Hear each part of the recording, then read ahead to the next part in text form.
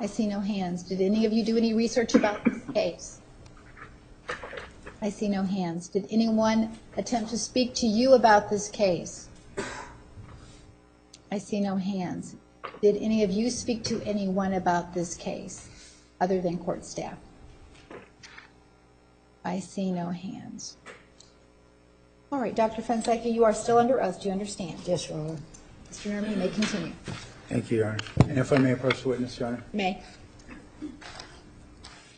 Doctor, I want to show you what's been marked as Exhibit 741. Good morning. Good morning.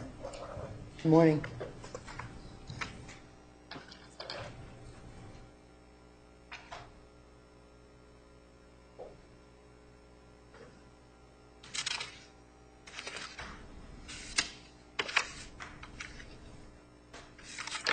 It's several pages, so I just want to take a look.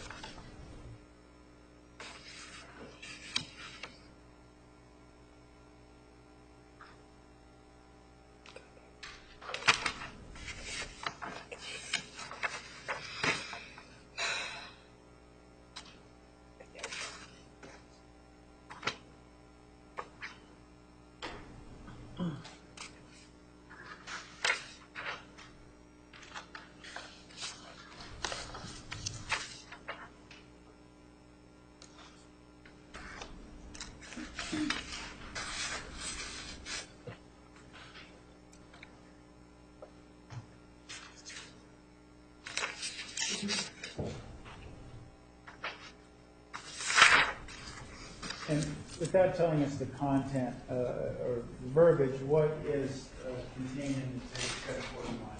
Let me say that I didn't go through it line by line, but I'm familiar with the email, and it is an email that was um, an IM a message from uh, Mr. Alexander to Ms. Arias dated May the 26th, 2008. You said I am the instant I'm sorry. It's a chat with Travis. What it says is Gmail chat with Travis Alexander, one message. Okay, and this is good when? Uh, May the 26th, 2008. It states at 4:47 a.m. And uh, before we broke on Monday, we saw a conversation that Ms. Arias and Mr. Alexander were having on May the 10th. Is this a similar type format to that? Yes. And is this something you uh, read and considered in formulating your opinions about this case? Yes. Your Honor, this defense would move in Exhibit 741.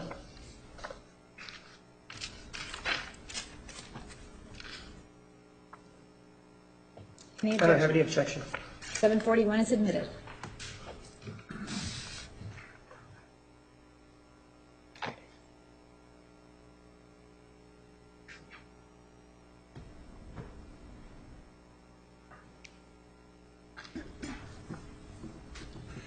Now, Doctor, to refresh everyone's memory a bit, this period of time, May 26, 2008, uh, Ms. Arias was living where? Miss Arias was living in California, in Eureka, California. No, it's Yreka, California? Yeah. Yreka. All right. You could speak Yreka. up a little bit, Doctor? Yes. I don't know, the microphone doesn't seem to be picking you up. Okay. Uh, I want to show you uh, some of the content of 741, and we'll talk about uh, the significance it may or may not have to you, okay? Yes. Uh, Drawing your attention to about uh, 2:30 in the morning, uh, Mr. Alexander 2:36 in the morning? Yes, doctor, thank you. Two thirty-six in the morning, uh, where Mr. Alexander uh, advises Ms. Arias that her little comment to Dan- Danny Jones makes you look like a cheap whore. See that there? Starting with the words Travis. Travis, um, yes, I, I'm, I got a little lost. You said 2:30, then I said 2:36, and that, um, oh, I see further down. Yes, yes, I, I see it. I'm sorry. And if you could read her uh, response for us? At 2:38 a.m., correct? No, to, uh, just. Her response. just Her response, right afterwards. Okay. Only you would say that. Anyone else would see it for what it is. an anch- an anchorman joke. I was just giving him a hard time for showing off and being such a ham. You and I had a conversation about his Facebook pics and their content. I was just razzing him. Could you keep going and see? Okay. Mr. Alexander's response? Mr. Alexander responds, "No, you were flirting with him, and you know better than, than, and you know better, it's Danny Jones. Maybe you are just one onto the next Dick, and he is an easy target." And- And doctor, in terms of your diagnosis of the relationship, what if anything do you make of this exchange between Arias and Mr. Alexander at this stage of their relationship? Okay, I just wanted to reiterate again, I'm not here to diagnose, to treat, or to recommend, or to test. I'm here only as a consultant to provide uh, information in terms of my expert opinion with regard to the dynamics of this relationship. So, Given that, given that uh, word of caution, I guess. yes. In terms of providing your expert opinion uh, of this relationship, what then do you make of this exchange between Ms. Arias and Mr. Alexander at this point in time in their relationship? Well, in this point in time, when I compare this to other interactions or communicate between the four, this seems like it has more acceleration to it. It, it uh, gives me the impression that it has more umph to it. Um, As I go through the email, it, it begins to show that, more aggressive, more abusive, more um, language that is uh, really distasteful, insulting, debasing, devaluing. um, Objection. Uh, Foundation. Sustained. Well, what do you mean, a- a- accelerating, um, what do you mean by that? I mean, we've talked about this boulder rolling down the hill. Are we- talking about this is a sign of it picking up speed, or is that what you mean?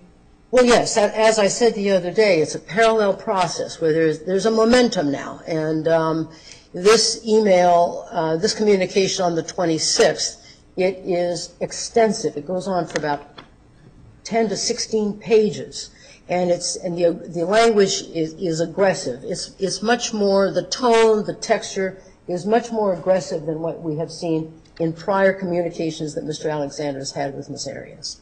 And that's what I'm talking about in terms of that steam, that, I mean, he's really going now. And she is uh, really trying to placate, uh, not very different than what her pattern has been in the past in terms of just taking it and trying to really find some peace that she can be uh, acceptable for, for Mr. Alexander. And and we, we can see this in the email as it unfolds. Looking at uh, 239, when he, uh, says his temperature is cold when it comes to that, referring to Danny Jones. And Mr. Alexander responds, so you have checked it then, what a frickin' whore. Um, Not going any, any farther, I realize there's a little bit more response, but what does this say about the dynamics when Mr. Alexander feels like he can still control who she's talking to and interacting with? Objection. Lack of foundation as to control.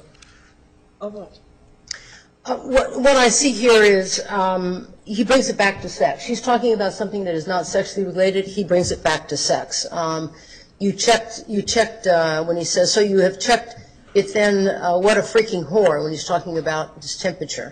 Um, It's just more of the same that he brings it back to sex. He doesn't really see her outside of the bedroom, of which he wants to be seen. Not only that we're interacting in the bedroom, but we have something going on outside of the bedroom, and he brings it back to that. And I think that's, and I believe, my opinion is, sorry, my opinion is when she's up prior to the message, when she says, only you uh, would have, would have come up with that in terms of calling her a whore.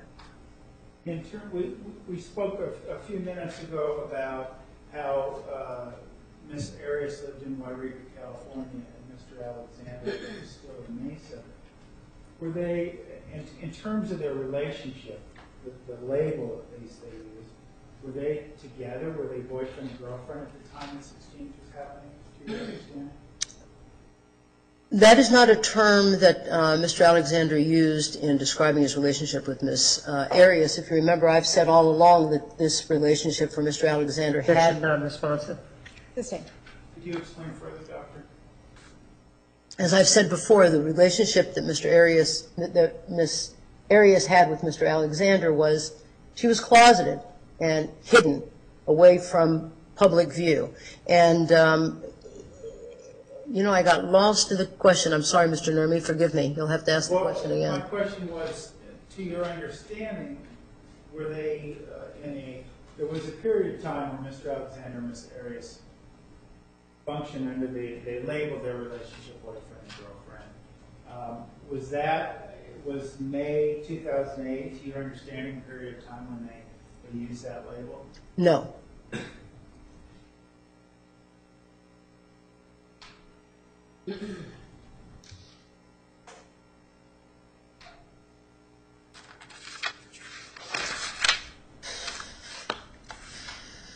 Looking at uh,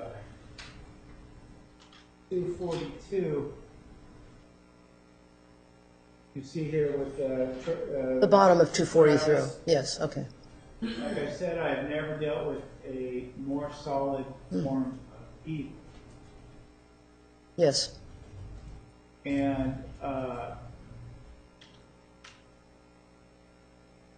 it it begets the question, you know, if Mr. Alexander really believes this, why in terms of the dynamics of this relationship is he still interacting with Ms. Arias and and having sex with her a couple of weeks later? Objection, speculation. Overruled. That's been the whole crux of the whole thing, right? Is when he clearly states there, uh, I have never dealt with a more solid form of evil. That's his struggle. Is that is that uh, connection that he has with Miss Arias? The more he discovers he's pleas- uh, pleased by the sexual interaction that he has with her, the more he explores that, the more satisfactory he becomes. The angrier he can become. She becomes the target. She's the evil. Remember that in the tape where it is um, recorded that he's having a sexual interaction with Miss Arias. When he is in high sexual arousal, it comes through and he's asking, is this, is it wrong? Do you feel guilty? So when he points and he says, like I said, I've never dealt with a more solid form of evil, to be sexual, to be uh, sexual out of marriage. uh, in- Objection, in- speculation. Sustained.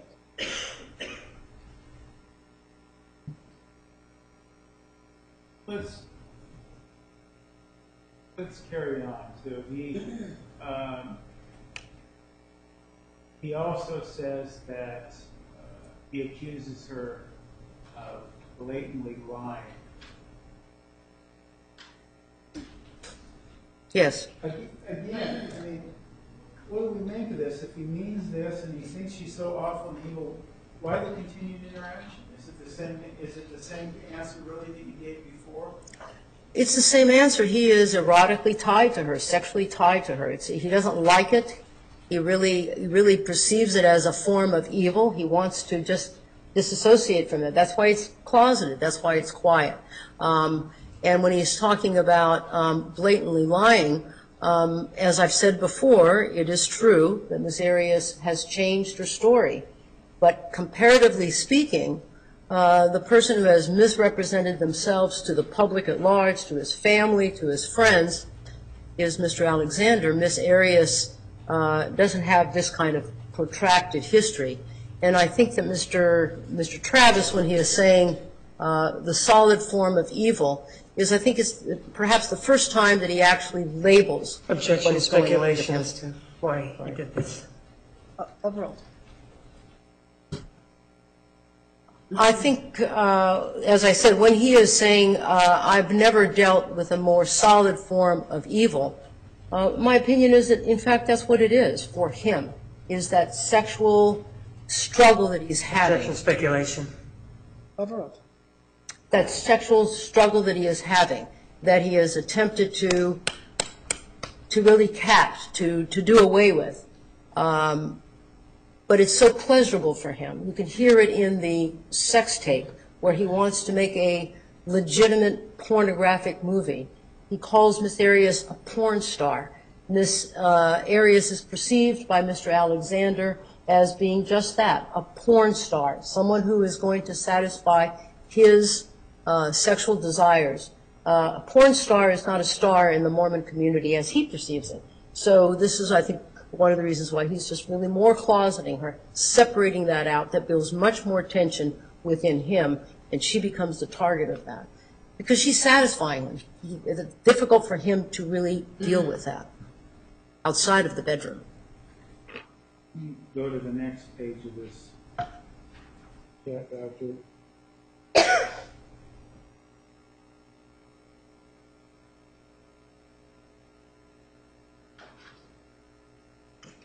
Uh, Drawing your attention to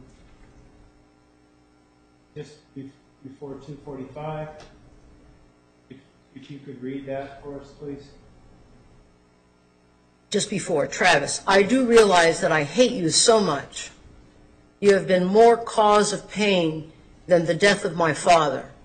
You are relentless in your torture of people that have loved you and protected you and served you. And what do you do? You try to destroy them. You are the lowest of the low. You are sick and evil. And knowing you makes me want to kill myself in punishment. I'm so stupid. I don't even, I don't even know if you are human. Miss Arias responds. Hang- hang on, Okay. Before, you- before you go on there, based on what you said before, if he gets the question, although he's speaking in this areas, is Mr. Alexander really speaking about himself, how he feels about himself? Objection, speculation. Sustained. He's her expert opinion. Rephrase. In your expert opinion, is Mr. Alexander really speaking about himself as opposed to what he thinks in this area? Objection, speculation. Overall. Judge, may we approach? You may.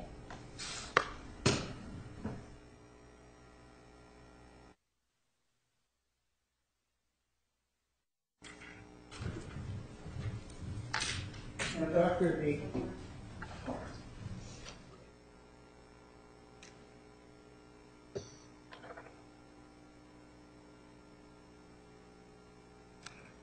The question before you dealt with the idea of whether the feelings Mr. Alexander is expressing uh, in this uh, rant, if you will, was of the nature that he's talking about himself, based on your expert opinion, or about feelings about. You sort of tuned out. I can't, uh, you're not speaking up, sorry. recall the question I asked before the objection?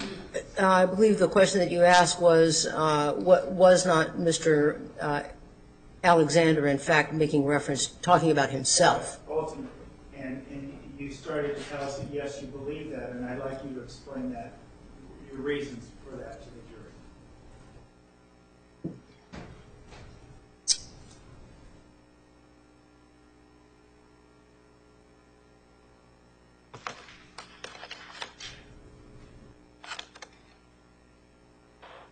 It's my opinion that he's really describing a process that he has, that, um, that this crisis that he has been having all along, that I don't think people have been aware of, when he's talking about um, relentless in your torture of people that have loved you and protected you and served you. Um, Mr. Alexander is, was a likable fellow. He was affable, he was engaging, the ladies liked him, he has loyal friends to this day. Um, but recall the uh, email of Miss Andrews, that there was a piece of him not so nice. Recall the emails of the Hughes, uh, particularly Miss Sky Hughes, who talked about that he's mean, that he's abusive.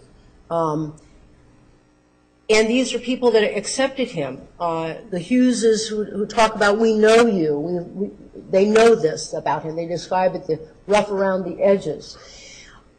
It's a concern for Mr. Alexander, uh, in my opinion, in terms of this struggle of going back and forth.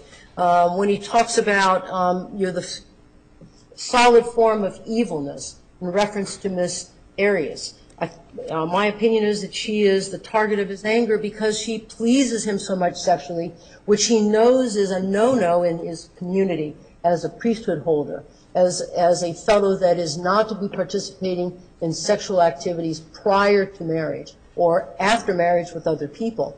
Um, and I think this is what his struggle is, and he's projecting this onto uh, Miss Arias. That's my opinion, is that he's in conflict and he's just projecting it onto him. Mr. Alexander has not, in all the things that I have reviewed, has not openly stated and described this struggle for himself. He's not owned that for himself openly. But if we turn down the volume and look at the behavior, just the behavior, we see there is a struggle here. This contact with Miss Arias. Miss Arias is out of California when this, this is sent. Miss, E is planning on visiting her at the end of the month. He's planning on going up there. They've been having contact on the phone, uh, text messaging during the, the time that she has left California into Arizona. They're still having this erotic sexual interaction over the phone. Doctor, what if anything is to be made of uh, Miss Arias's reaction where she says, "I'm so sorry. Uh, if any, you right, you were light into this world. I can't even compare." Yes. This is similar to what we have seen throughout. Uh, very early in the emails that Sky Hughes has written indicating that Miss Arias is making excuses for Mr. Alexander in terms of his behaviors and his, his quote-unquote bad behavior. That's my word, that's not Miss Hughes's uh, term. Um, and Miss Hughes brings it back to she's making excuses for you. It's abusive behavior. This is in the email in January of 07. I think this is the same thing that you're seeing here. I am so, so sorry. Blaming herself again, making excuses. Not Mr. Alexander, but Miss Arias. This is a pattern that we have seen starting back in January of 07 when it's articulated by Miss Hughes, that she's making excuses for Mr. Alexander. He goes on, we can see he compares it to Hitler, uh, those sort of things. Uh, we talked about this a little bit uh, on Monday. Is love the reason that she's not just, just continuing this conversation, She says, you know what, I've had enough, I'm out of this? And leading speculation. Overruled. Can we answer yes or no? Thank you, Your Honor. Your Honor, it's not a yes or no answer, I'm sorry. Well, then rephrase your question. So, let me ask you this, we'll start with the yes or no, and and then we can offer explanation. But is it love is the reason that Miss Arias isn't saying, you know what, see you later? Yes. And why, at this point in time, based on your opinion, uh, is that love Miss Arias has for him still powerful enough to preclude her from doing that? Well, it's that erotic connection, it's that sexual connection, and it's also an unrequited love. Um, it's not reciprocated completely. Um, there are people that that have that are in relationships and experience unrequited love, but this is different. This is not like any other relationship. This is a closeted relationship. This is a closeted relationship that is filled with a lot of sexual satisfaction. This is a closeted relationship that uh, Mr. Alexander expends a lot of energy in keeping closet, keeping quiet. Um, Miss Arias uh, stretches and stretches and tr- tries to do whatever she can to get some recognition. The the ed- he wrote a book in 2008 and she edited. She wanted some recognition. This is similar to when after shortly after she met uh, in 2007 at the Hughes and he walks in and doesn't even acknowledge her. Remember Ms. Sky Hughes talked about that in an email that she would like to be recognized. He wrote a book in 2000, uh, late 2007, 2008, and she was editing it. Finally put it together, and there's not one sentence, not one word, one paragraph, no mention of her having any kind of input into that. Uh, she was wanting some public acknowledgement that she existed. He snuffed her out. Her identity, her existence, who she was. It's almost as though she was invisible, not here. This is the reason why uh, the friends, Mr. Hyatt, uh, Mr. Morrison, were, were surprised uh, that she still had a relationship or connection with him. They were quoted as saying, I think Mr. Hyatt said, absolutely not. Impossible, said Mr. Uh, Taylor Searle, that he had a double life. But when we stand back and we open up the lens, we see that in fact, there's something else that has been going on here, that he has been a master to be able to, cover it up, to deceive people, not to have people know this is an active, alive thing that's going on in his life, which is this sexual interaction that he has had with Miss Arias, which, by the way, has been for almost two years now, because it started in 2006, and it goes all the way up until February of 2008. And that has been ongoing for that period of time that he has had that closeted. It takes a lot of energy to keep that down there. And the impact of that, psychologically, that al- that also has an impact of being depressed, feeling devalued. And this is what's taking momentum. This is what's now catching up steam. And it culminates in 2008. Doctor, I want to move a little forward. Uh, In the email, uh, Ms. Arias is starting to talk about uh, how she's a bartender in a Mexican restaurant. Can you tell me where you are, please? Okay, at the top, I'm sorry. She talks about being a bartender, there. And uh, Travis calls it a slut's job. Maybe you can get tips for BJ's. Oh, I'm sure you can, you're good at that. Um, First of all, in terms of your, uh, it may be obvious to, to a lot of people, but in terms of your uh, studies in the sexual realm, what is BJ's slang for? Blowjobs, oral copulation.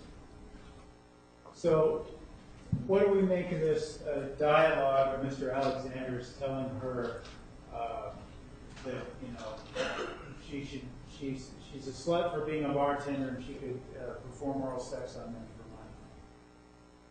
Well, this is how he sees her, right? He, ca- he calls her uh, a whore, he calls her a porn star. He doesn't see much of other attributes in Ms. Arias. It's primarily focused on sex. He brings it back to sex. In the beginning of the email, brings it back to sex. You're probably going to jump on somebody's, another man's dick. Um, you're good at BJ's, blowjobs. He brings it back to that, not to other uh, virtues of her character, of her personality. It's just focused on vagina and anus. And what do you make of her response? Where she begins by saying, yeah, according to. Yeah, according to what you've said, I've had that car paid off in one shift with vacation money to spare. Um, maybe I could use you as a reference. My impression is she's getting into the banter with him and being sarcastic with him. Um, is what I is how I interpret that. He calls her three-hole wonder. You are good for something. First of all, what is a, based on your training and experience, what is the term three-hole wonder a reference to? Objection, lack of speculation as to the term. Training, 701, 702. Approach, please.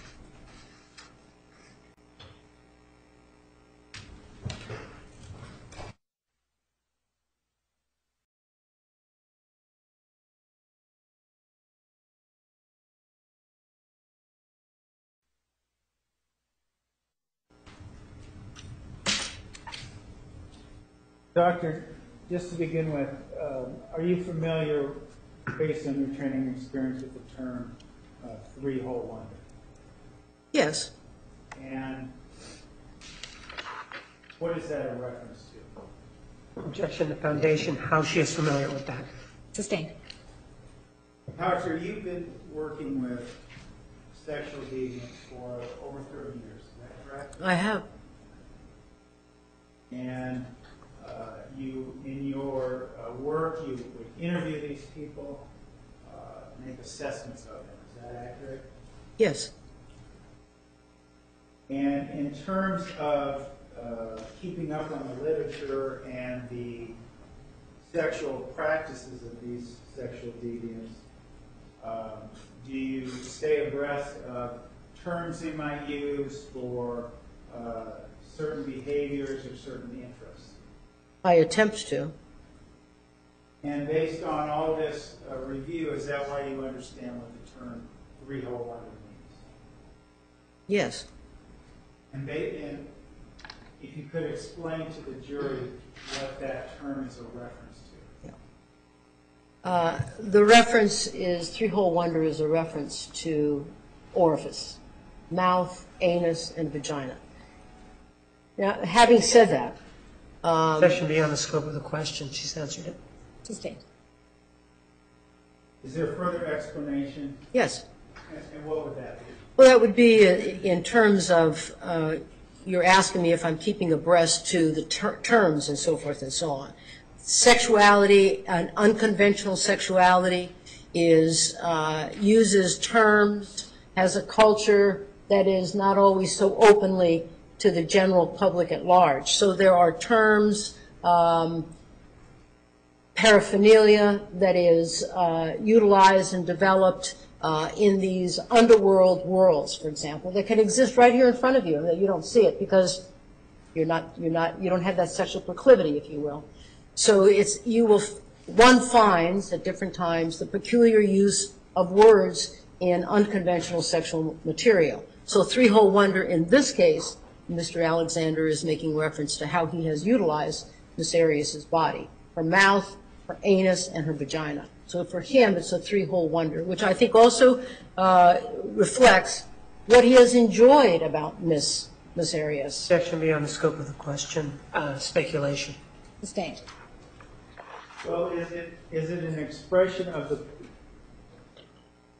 to, to re, uh, recharacterize what you're saying then, Um, Dr. Fonseca, are we saying that Miss Arias's body, those orifices, that's all that he cared about at this point in time? Yes. And is there also, do you believe, a derogatory connotation to, to telling her that? Yes. It's dehumanizing, it's debasing. And we talked about Miss Arias suffering in silence. When she reacts and doesn't end the relationship, is she suffering in silence? She is.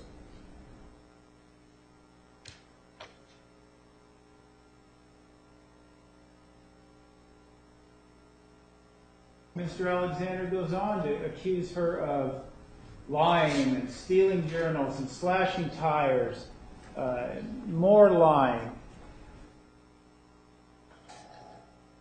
But, but, but based on what you're telling us, he's still involved in this thing, in these things, whether he believes them or not, because he still wants those access to those orifices. Intensely. meeting. Overruled. I'm sorry, could you repeat your answer? Intensely. He's, he's, uh, he hasn't let go of her. She's moved out of state. He's still contacting her. He had plans to go and visit her that weekend, to go up and spend the weekend with her.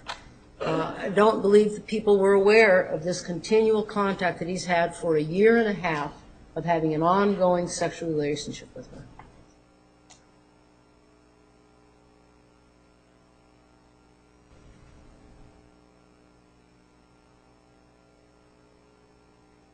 He goes on, continuing more about the tires and the, uh, truth. And he says, Your life is worthless. Um, I want to draw your attention to Miss Arias' response to this tirade. It keeps going on and on. And looking at just past 3.14 in the morning, um, could you read Miss Arias' response? I may be a liar, I may be a whore, I may be evil, I may be a coward. I am not be worth the air that I breathe. I am most like the most horrible person you've ever had the misfortune of knowing. But the one thing I am not is violent. I think I did not and would not and would have never slashed your tires. What what do we make of, and I, and I don't, obviously, we can agree, Doctor, I think that Miss Arias was violent on June fourth. No question about it, Mr. Nurmi. Putting that aside for the moment, what do you make of Miss Arias' response after all this berating, this belittling her down to being three orifices to him, and she says, you know, I, I may be these things. I may be a liar. I may be a whore. She's starting to absorb this. What do you make of this? She is starting to absorb this, but she draws a line and she makes it emphatic in capital N-O-T. I am not violent in reference to the slashing of the tires. What do you make though of her internalization, or or what seems to be like an internalization of his labels of her? Well, that she's incorporated that. She is um, almost believing that, if you will. I am worthless. I may be a coward. I may be a whore. I may be evil. Again, this is the impact, the ramifications of the psychological impact of this, this ongoing relationship for a period of time. This Arias doesn't come to the table psychologically equipped to understand or to deal or manage with Mr. Alexander. Remember, they both came out of abusive homes. She came out of a home where the father was berating the mother and her, and physically pushing, shoving, slapping her. Um, so she's not well equipped to deal with a fellow like Mr. Alexander. What do you mean, a fellow like Mr. Alexander? Well, Mr. Alexander was described by his friends as a, as a gentleman that commanded um, attention. He was high energy. When I looked at the videos uh, of him uh, speaking, uh, one gets an intensity about this man. He walks in the room and you know he's there. He has a presence. Um, it's probably difficult for, people to navigate him and to manage him. And if you come to the table where you've got some, some, some vulnerability psychologically or you're not well equipped, um, it's easy to get bowled over. Some of the women that Mr. Alexander was in contact with was able to put those parameters, probably because they had more uh, psychological strengths and um, wherewithal than uh, Miss Arias at the time. Remember Miss Lisa Andrews, uh, even though I think Mr. Alexander was infectious, people wanted to be around him. He inspired people. That, that was a common thing that people said about Mr. Alexander, that he is inspiring. Um, his siblings talk about that, about how inspiring he was. Um, and it's a lot of energy. And uh, when he came into contact with some women who had the wherewithal to sort of navigate him, Miss Avila in a text message, who I, from what I could tell from the message was a Mormon, and he was asking, what can we do? How far can we go? Right away, she puts up a stop sign and says, uh, we can talk to the bishop. He doesn't want to do that. Uh, Miss uh, Andrews, who also sets up parameters, uh, doesn't, doesn't respond like Miss Arias does, where he can just mold her. Recall that Miss Andrews said how Mr. Alexander wanted to mold her. Uh, text messages that he sends to Miss Reagan. I don't know if you have an opportunity to see those, but that is also another woman who puts parameters around him. Miss Arias simply didn't do that.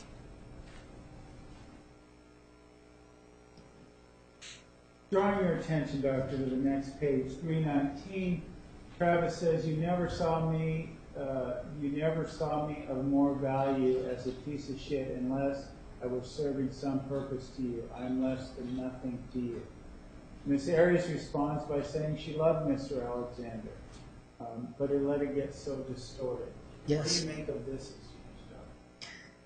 Miss Arias, at this point in time, uh, my impression is that um, she's telling him, I really did love you, but I let it get so distorted. She has commented that in different journal articles about how, in different journal entries, about how this, um, she was blindsided. She didn't see it coming. She felt that there was a cancer, a negativity that spread within her. Um, she, in a conversation that she's having with uh, Mr. Alexander, um, I don't remember, it was an email or text messages talking about it, we we stretched it too far. I believe that's what she's talking about here. But I let it get so distorted. I want to draw your attention to uh, part of Ms. Arias's response here. It begins with me at 321.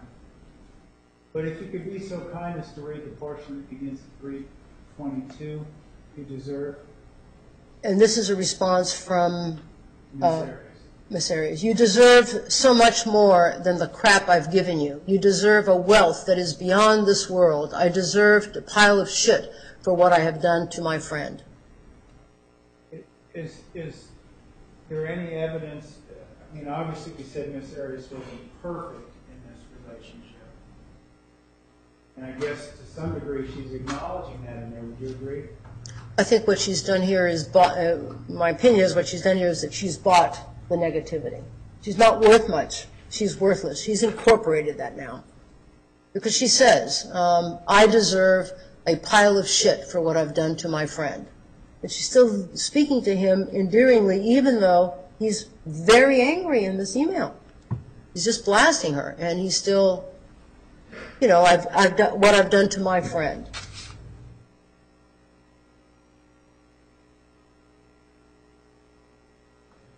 Three twenty-four, um, he, he blames her for trying to, uh, you tried to murder me from the inside out, how could you? You see that there? Oh, Travis, I gave you anything I could. I sacrificed everything I could, and you just tried to murder me from the inside out. How could you? Obviously, we know about the sad events of June fourth, two thousand eight.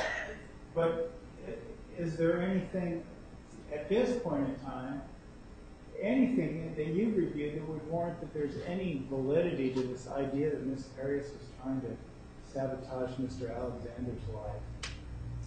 No. What I, what I see there is, again, what I said the last time I was sitting here talking to you, which is the theme of death. It's always back here in the background. And I can trace, when I go back to the record, I can trace this uh, back to late 2007, um, where she, there is a continual uh, particularly after the, the discovery of the infidelities, of being depressed, of being suicidal. And Mr. Alexander, in this month of May 2008, Mr. Alexander makes reference of killing himself. He writes to Mr. Hughes and says, um, Miss Mimi Hall has, I'm paraphrasing, is, basically rejected having a romantic relationship with him. And he writes and says, I have effed my, my life up. I want to kill myself um, in an email that he's writing to Miss uh, Reagan. In the same month, just days before, he's talking about taking a gun or that he's learned how to make a noose, i.e. as in a rope to hang himself. So death has been there. The paragraph that he writes at the beginning of uh, A Gold Digger, he's talking about death there as well. So death has been in the background, in my assessment, throughout the time that this man has been involved with this woman.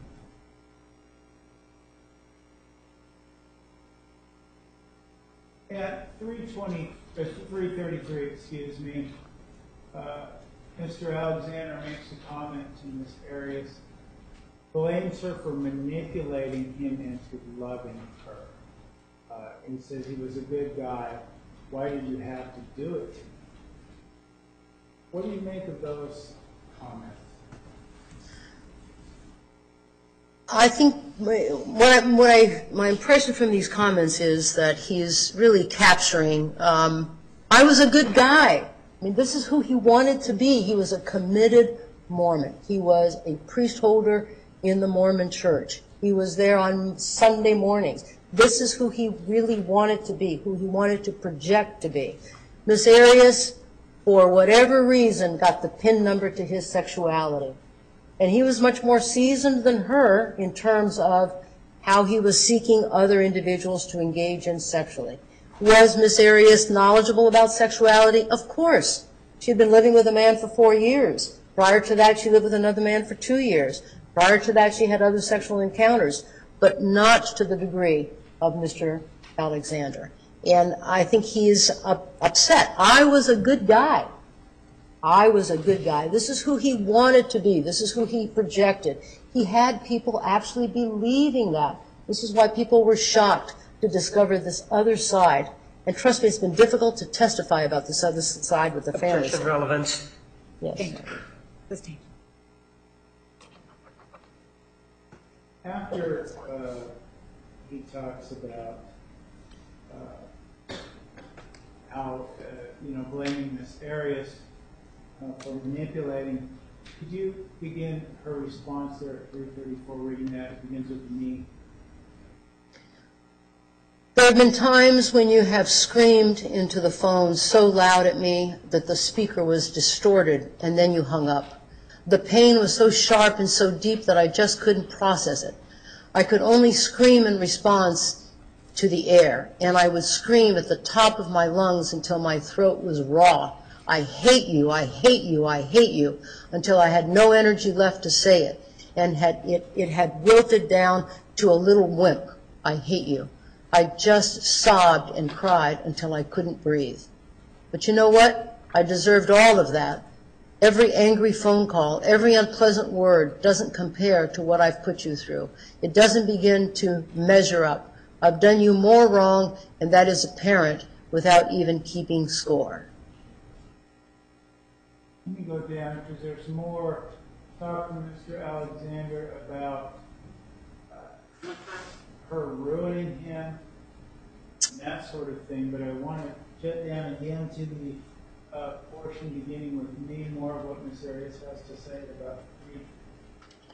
I don't, I don't know what you mean by ruin you. I would never deliberately set out to do that. I was bitter, yes. I tried to be a big girl in other ways by lending you my few hundred dollars when you were refi dependent on it, by giving you membership that would have taken me out of chargebacks, uh, by devoting time to pushing through those last few counters at the last hours of the month you, so you could, would qualify. It was an endless struggle. I was resentful for other things, but I've always wanted you to succeed. I haven't deliberately set out to try and ruin you. I am so sorry for what I have done. Keep going, Doctor. Those nice things listed above don't even begin to add up to the counterbalance the horrible things I've done. It, it should have all been different. It's my fault. I'm 100% responsible for this. You did those things, I'm sorry? That's Travis's response. This What do we, what do we make of this dialogue from Ms. Arias? Miss Arias, again, is, you know, it's all my fault, if I was bad, you know, uh, but I did these things. I wanted you to succeed. I wanted to give to you. Moving down, Mr. Alexander makes a comment about three forty-four. I think I was a, uh, a little more than a dildo with a heartbeat, uh, to you. Is there any evidence to suggest that, that that is true, or is that just how Mr. Alexander saw it, because he blamed Ms. Arias for her sexuality, his sexuality? Objection, speculation. Sustained. How do you view this comment by Mr. Alexander? It is once again bringing it back to sex. He's not hearing her. He brings it back to sex, back to genital area. I was, uh, I'm losing it, where is it here on the? Towards the, towards the, the body. Yes, uh, I think I was a little more than a dildo with a heartbeat to you. It brings it back to the sexuality. And she responds on the next line. Well, she responds by saying, I would have been content just cuddling, but I wasn't strong enough. What I interpret that to mean is she acknowledges that she didn't have that psychological wherewithal. She wasn't strong enough. There were psychological vulnerabilities there, some impairment there.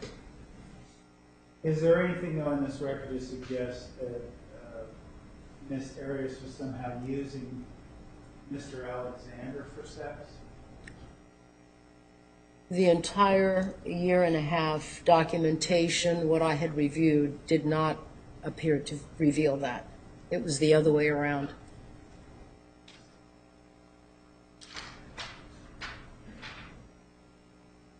Moving on to page 7. This dialogue.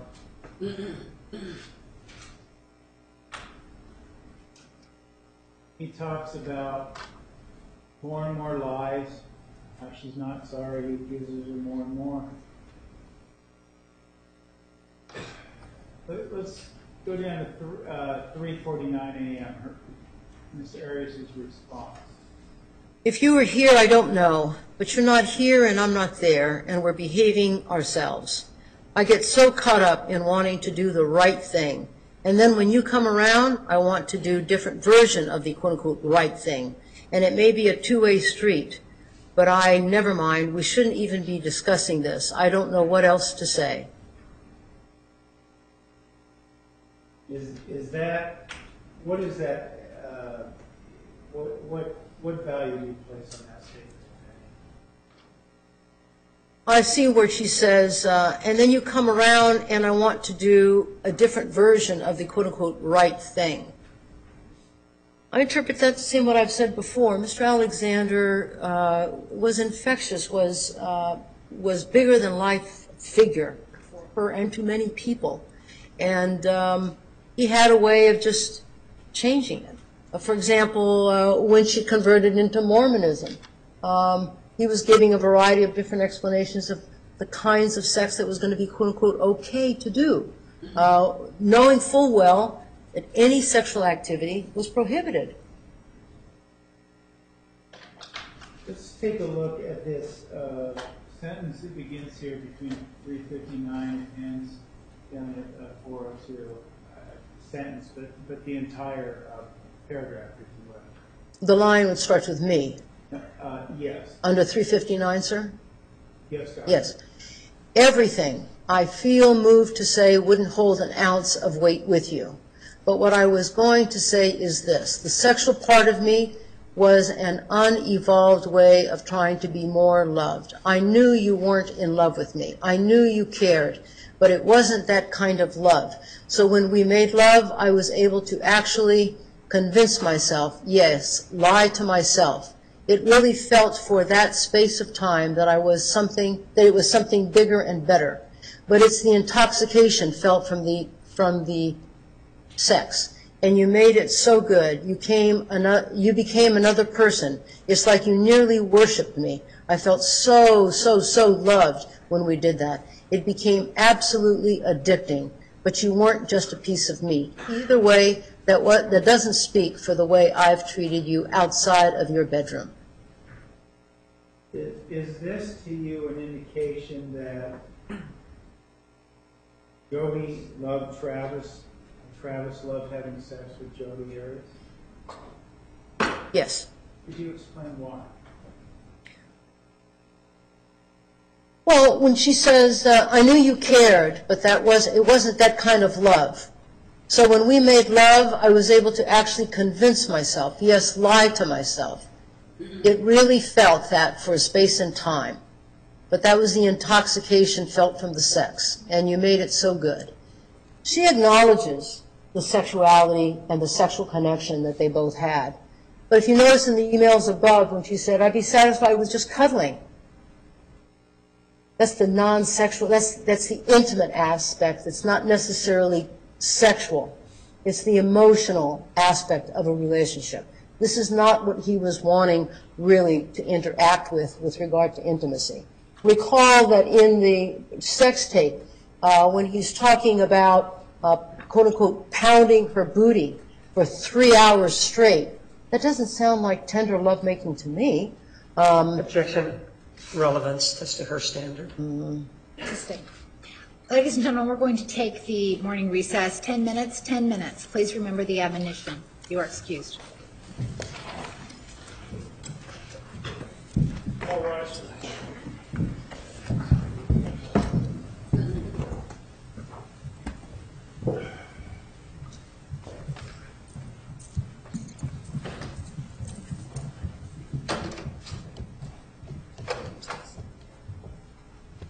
are you doing? Too slow? How you doing?